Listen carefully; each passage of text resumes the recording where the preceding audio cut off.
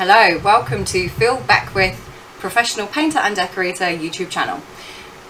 Living HQ in Nottingham has been supplying the Beckwith decorators for about 10 years with all their Farrow and Ball paint. So today, Phil, Magic Man, will be talking about Farrow and Ball paint right from Living HQ. He will tell you a little bit about Farrow and Ball, why you should be using it, what to use, where to use.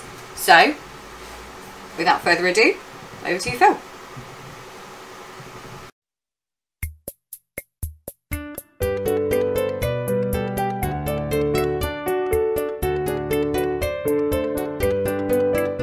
Yes, Phil Beckwith, professional painter and decorator, back with uh, an interesting riveting video on and Ball paint.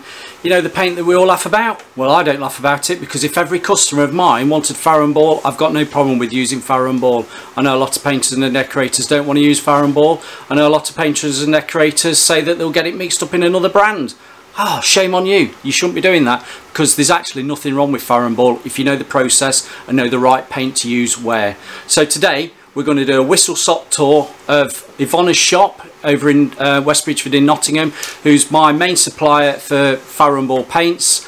Um, obviously, she's introduced me. We know all about the history of Phil Beckwith and Beckwith Decorators and um, the Living HQ shop. But no, we're here today. I want to do quick revise on what paints should be using where because people get a bit confused about what paints they need to use on what surfaces. Now I'm going to keep it really quite simple to you. If you've got ceilings, if you've got walls, if you've got woodwork, and we'll call it trim because I think some of my subscribers are over in America, they don't call woodwork woodwork like we do in the UK, they call it trim. To me, trim's on a car. That's by the by. So anyway, let's start with ceilings. Phil Beckwith, what do we put on ceilings if we're using Farrow and Ball paint? Well, we've got an abundance of tins of paint here and it's quite confusing for anybody to look at tins of paint and know which ones to use. Now my bit of a criticism with Farrow and Ball is that the labels all look exactly the same even though they're different paints. Now if Farrow and Ball's watching please can you change the colour of the label so we know what paint we've got because there's an estate emulsion, there's a modern emulsion, there's an estate eggshell there's, an, a, there's a modern eggshell. All the label colours are exactly the same. So today I'm going to tell you which you need to be using where. So, da, da, da. right, back to ceilings. Let's start at the top and work down. You've got a ceiling. What paint do you need on a ceiling? I'm recommending to you to use estate Emulsion. Phil, why are we using estate Emulsion on the ceiling? Right, it's a flat finish. It doesn't show any brush marks, it doesn't show any roller marks. It's a chalky finish, it's a flat finish. So if you stand looking towards the window across the ceiling you shouldn't be seeing any brush marks you shouldn't be seeing any roller marks. So that's why we use a flat finish on the walls so we don't get any critical light going across it to show up any imperfections on the wall. Use a flat paint. Right if we're going to a high traffic area we're going to be looking at these. We're going to be looking at these paints here that says modern modern emulsion. And you're going to say what's modern emulsion? Well modern emulsion has a slight sheen to it. It's not a vinyl silk it's not a soft sheen it's got a 7% sheen um, content that gives you a hard wearing finish for high traffic areas. And you're going to say Phil what's a high traffic area? Places like your staircases going up your staircase wall um, your living room areas, anywhere that the dog could be um, wagging its tail against, utility rooms, kitchens, bathrooms, use the modern emulsion. Got that? Ceilings, flat finish, estate emulsion, walls, modern emulsion, slight sheen. Obviously, you can go, go totally away from what I'm saying. You can use estate emulsion on walls, but don't moan to me and put comments about how it's chalky, you brush up against it with your coat and your bags and it marks. Because I'm telling you, you should be listening to Phil. Modern emulsion's the one you need. right, we've done ceiling, we've done the walls, high traffic areas, bathrooms, kitchens, modern emulsion, ceilings, estate emulsion. We've got to go over it so you don't forget. Right, we're going to the trim, woodwork. What do you use on that? Well, depending whether you want a sheen or not. If you want a sheen, go for the modern eggshell. That used to be Farrow and Ball's floor paint. It was that hard and that tough. It was a it was a good move over to call that floor paint modern eggshell. It's a rock hard finish. put that on if you want a hard finish with a slight sheen if you want a flatter finish a drier looking flat eggshell you go for guess what it starts with an E well they all start with an E it's estate estate eggshell that's your flatter drier finish. It's got a quality look about it. If you want something flatter if you've got woodwork that's a little bit um, oh looks damaged bit uneven it's had gloss on before shows all the imperfections go for a flatter finish. So that's where you want to be using your estate eggshell. Are you with me? Are we following me? Yeah. Farrow Ball also do some specialist finishes as well they've got the Casein distemper if you've got problematic walls that's got a bit of a damp Casein distemper is an ideal one. I don't want to touch on that one now. It's a little bit specialist from what you, what the people are probably looking at this video wanting to know about today. All we want to talk about is ceilings, walls, woodwork. Casein distempers, bit of a specialist. If you want a bit more information on that, please ask somebody like Iwona at Living HQ in Nottingham um, or you can go onto the Farrow Ball website and find out a bit more about that there. Now, I'm going to take a breath because I've been non-stop talking. Iwona, can you hear me in the other side of the shop? I can, Phil. I Is can. there anything I've missed out about Farrow Ball paints? Well, you actually not even mentioned the other two woodwork finishes.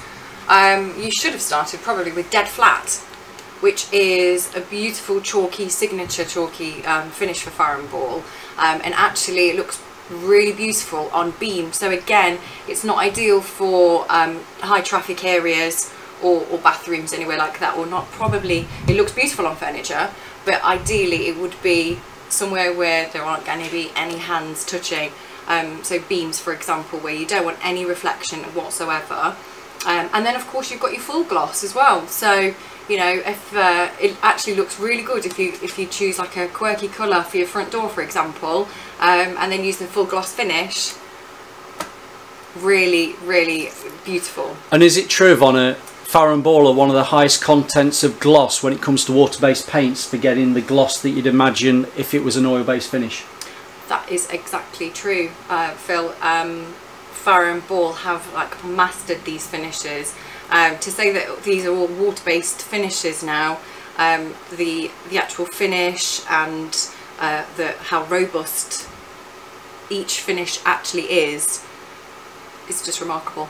Yeah, Right, so thanks Iwona on that about the woodwork finishes. Um, the water-based gloss, now something Farrow Ball um, picked up on was back in 2010 that they moved away from manufacture of oil-based paints onto water-based. So from 2010 Farrow Ball went totally water-based, spent up to millions converting their factory down in Wimborne in um, well, it's down near Dorset. Bournemouth, Dorset, sorry, Dorset, thank you, Dorset, Dorset, not the posh area posh area for posh paints.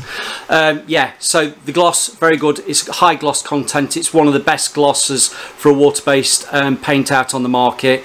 Um, also, we want to touch about uh, touch on Farrow Ball do exterior um, paints as well with a six year up to six year guarantee on um, exterior eggshells and exterior glosses. Now these are all great but the biggest thing you've got to be aware of is it's no good having the finished paints if you haven't got the correct um, undercoats for them. So if you want the proper finish of gloss eggshell modern eggshell make sure you use the correct undercoat to go with it. So if we're talking about outside exterior paints Iwona's got upon the toff shell uh, toff toff well we've got toffs yeah toffees um, we've got exterior undercoats. Now they come in three sorts of colors you get um, across the board with the undercoats with Farrow Ball you've got a light tones, a mid tones and a dark tones. Let's not forget the red tones Phil. And you've also got red tones. So please when you're looking at your finished paint colours correspond that to the correct undercoat that you need and sometimes it may it may say that you need a light tone but if you actually look at the finished tone of your own finished paint estate eggshell, modern eggshell, you might actually think it looks more suitable to a mid-tone. That's not a problem to cross-reference it that way. So if it's a light tone, mid-tone or dark tone, make sure you get the right paint for the undercoats. And if you do the process correctly, which is obviously prime, undercoat and two top finishes, you'll have a, a, cracking paint finish. Now I've said the word prime. Now if it's a bare surface, bare wood, don't forget you've got to prime that wood first. Now that gives you a decent surface to put your, un your undercoat on. So you go prime, undercoat, two top finishes. most water-based paints now virtually across the board with all brands are actually two top coat finishes. Now what I would say to you, if you're going over previously painted woodwork, give it a good abrade, give it a good sand down, dust off, sugar soap it down, wash it down if needs be. You can get away with just an undercoat and then two top coat finishes and that will sort you out and you should have years of happiness with that paint. Now, have I covered everything Iwona? You certainly have, although I just want to add in that Farrow Ball has got the undercoat and primer in one. So you're saving yourself a job. You don't have to use a primer and then separately an undercoat. It's a primer and undercoat in one. Oh, I missed that Killing one off. two birds there. Did I miss that off purposely? Mm, Maybe, maybe. So that is right. So it's a, it's a self-priming undercoat. So yeah, prime with it um, and use it for the undercoat. It's all in one. Um, jobs are good and that's where people go wrong. They're not putting enough coats on. If it's bare, it obviously soaks in the paint and that's where you can suddenly start looking at surfaces where it looks like you've missed a bit. Well, you haven't missed a bit. It's just that the wood or the surface that you're painting over has actually soaked in and that's why you get little areas that um, look like you need another coat over it. So yeah, prime, undercoat and two top finishes, jobs are good and I don't think I've got anything else to tell you apart from what's the main gripe that painters and decorators, trade painters and decorators have got with Farrow Ball? It's the elephant in the room. We don't get any discount on the paint. So Farrow Ball's watching, please sort us out with trade account discounts because that is why painters and decorators, professional painters and decorators, cover your ears Iwona, aren't using the paints. But that's, shh, that's just a bit of a gripe. But no, so yeah, let's wind up now. We've covered the paint, ceilings, walls, uh, woodwork, trim. Press that subscribe button, like, give us the comments, because if I've missed anything off or if there's any information that you want, uh, please give us some comments below. I think we're covering everything. I love Farrow Ball paint, and as I've said at the beginning or in my previous um, intro, if I could use Farrow Ball paint on every job, I would do. The downside with Farrow Ball paint, 85 quid for a 5 litre tin of emulsion. It's a lot of money. But if your customer's willing to pay it, don't knock it because it is cracking paint. Your house deserves it.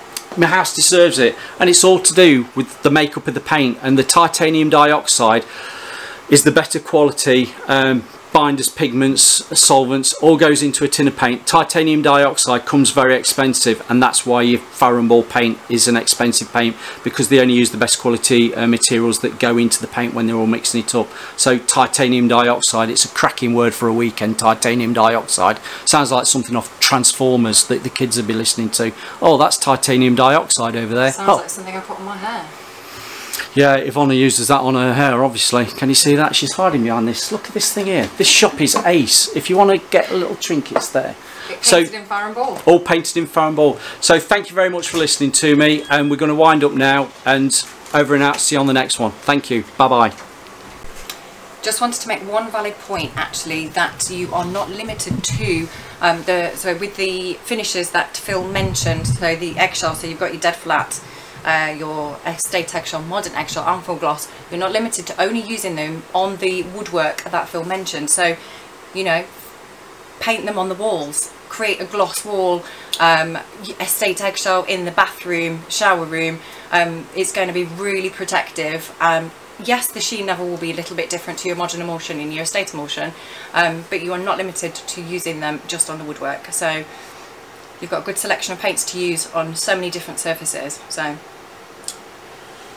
Thank you very much, Iwona. Uh, do you want to just mention about um, the paint um, colour cards? Because what's on a colour card is um, available. absolutely Yeah. And there's also archive colours. Absolutely. So this um, colour card will show 132 of the current range.